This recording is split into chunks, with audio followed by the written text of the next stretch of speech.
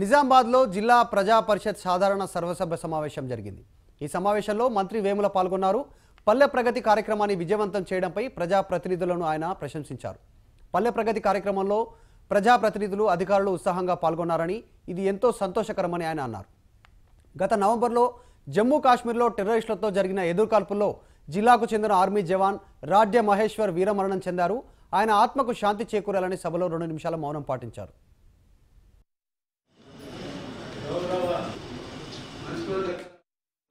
చేసినప్పుడు సభ్యులు చెప్పినట్టు ఏం చేయాలో అర్థం కాని పరిస్థితి ఏమనంటేనేమో రైతు బాధపడతాను ఏమనకపోతేనేమో రోడ్లు పోతా ఉన్నాయి. ప్రజల నుంచి డిమాండ్ రోడ్డు రోడ్ చెడిపోగానే రోడ్డు కొత్త రోడ్డు కావాలని అంటున్నారు. దయచేసి మీ స్థాయిలో మీరు రైతులను ఎడ్యుకేట్ చేయాలి రైతులకు నష్టం చెప్పాలి.